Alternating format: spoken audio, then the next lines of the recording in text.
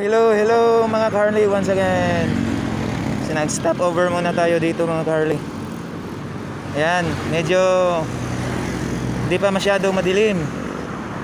Kaya hindi makulimlim yung ating ah, kapadyaka na Harley bike.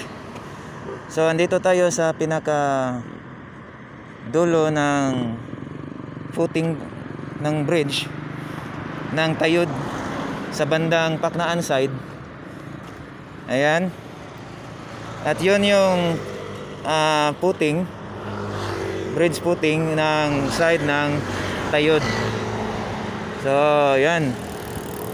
Napakagandang ah, tanawin. Kulay green na parang ah, dirty, dirty white. Ano, ano ba?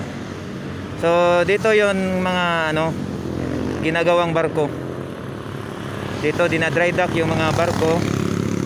At sa bandang kali, ah, kaliwa naman, ayan makikita mo.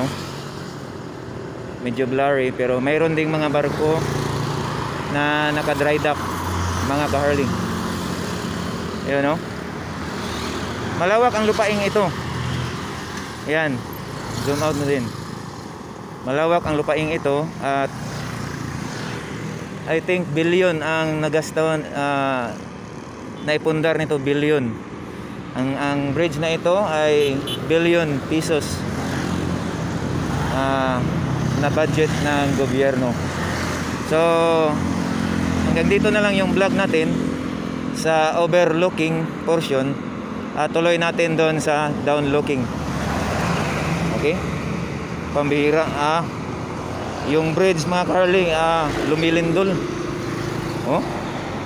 Pambihira lumilindol no? Napansin nyo? Gumaganon ganon? Alis na ako dito mga Carly bye bye boom